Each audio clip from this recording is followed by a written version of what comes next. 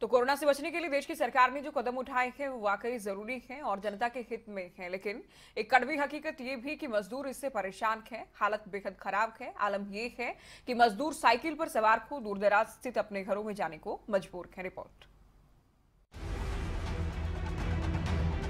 इस वक्त लॉकडाउन के चलते पूरा देश जहाँ प्रभावित है तो ऐसे में दिहाड़ी मजदूरी कर अपना पेट पालने वाले लोगों की मुश्किलें दिन ब दिन बढ़ती ही जा रही हैं।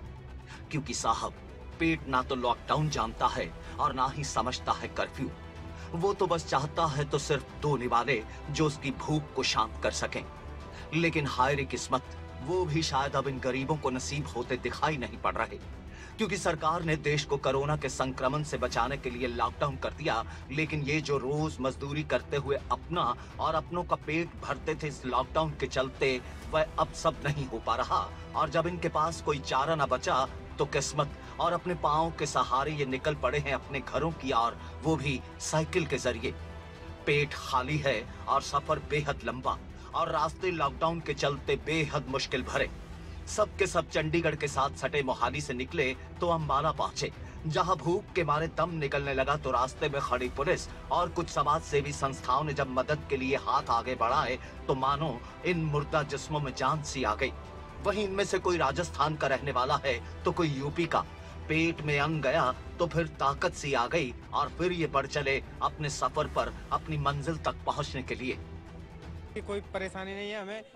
जगह जगह पर खाने के लिए पूछा जा रहा है और कोई दिक्कत नहीं है अपने आराम से सफ़र कर रहे हैं अपनी साइकिल के साथ। कोई दिक्कत नहीं पूरी हमें कुल पुलिस की तरफ़ से हमें पूरा सपोर्ट है लेकिन कोई परेशानी नहीं है।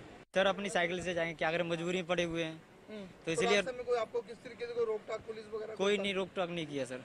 क्योंकि हमें इतनी वो नहीं दिक्कत नहीं चक्कर। कहाँ से आ रहे? सर मोहाली से आ रहे हैं चंडीगढ़ से। क्या करते हैं लेबर का काम करते हैं सर। जारी मजदूरी कमाते हैं राजस्थान के किस जगह जाना? अरे धौलपुर पे जाना आगरे के पास। कितने दिन में पहुँचे? तीन दिन पे पहुँच जाएँगे सर। राजस्थान जाएँगे सर। कैसे जा रहे हो और कहाँ से आ रहे हो? मोहाली से आ रहे हैं सर। हाँ जी। किस तरह जा रहे हो आप? साइकिल से आ रहे हैं सर। नहीं सर कुछ नहीं है मजदूर बंदे हैं जी। खाना पीना? तो खाना पीना तो सर कुछ है ही नहीं अपने पास ना रास्ते में जो मिल रहा है उसी को खा के इसके बाद पुलिस ने इन्हें सोशल डिस्टेंसिंग का पाठ पढ़ाते हुए इन्हें वहाँ से रवाना होने की इजाज़त भी दे दी और ये भी आश्वस्त कर दिया कि रास्ते में उनकी मदद के लिए हाथ बढ़ाने वालों की कमी नहीं। तारीख से लॉकडाउन हुआ है हमारे देश के अंदर। उसमें जो लोग बाहर के हैं बाशिंदे हैं वो रह रहे हैं उनके पास अभी खाने पीने के लिए कोई सामान नहीं बचा है और उनके पैसे भी खत्म हो गए हैं। तो ना तो कोई साधन जाने के लिए उनके पास ना रहने के लिए कोई साधन है। तो वो अपने अपने घर जाना चाहते हैं। तो कोई पैदल ही जा रहा है कोई साइकिलों पे जा रहा है और हम कोशिश ये कर रहे हैं कि भाई उनको ये कह रहे हैं कि भाई आप लोग अपने को डिस्टेंस मेंटेन करके निकलें, ताकि कोई भीड़ भड़ाका ना हो, कोरोना वायरस का संक्रमण ना फैले। पंजाब से आए हुए थे और राजस्थान जा रहे थे ये।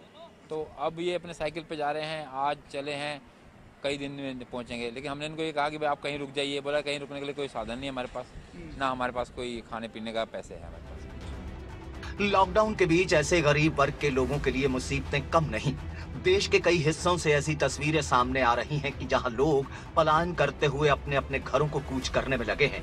यकीनन ऐसे में सरकारों ने जो बड़ी बड़ी घोषणाएँ गरीबों के लिए करते हुए इस बात को कहा था कि दिहाड़ीदारों मजदूरों को घबराने की ज़रूरत नहीं। सरकार उन तक अपनी पहुँच बनाते हुए उन्हें खाना पीना और उनके रहने का इंतज़ाम करते हुए राहत देगी। लेकिन ऐसी तस्वीरें सरकार की ओर से ज़ोर शोर से गरीबों के कल्याण के जो दावे किए जा रहे हैं, उनकी हवा निकालती दिखाई पड़ रही है। खबरें अभी तक के लिए अम्बाला से कमलप्रीत सभरवाल की रिपोर्ट।